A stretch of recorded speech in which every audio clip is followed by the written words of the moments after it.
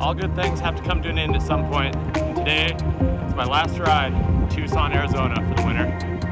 Heading out to ride La Milagrosa. I'm about two miles up Mount Lemmon right now, so three more to go before we're on trail. Then I'll ride up to the Molino Basin Saddle, which will connect me to La Milagrosa. Definitely my favorite trail in town, so good one to send off with. Let's go.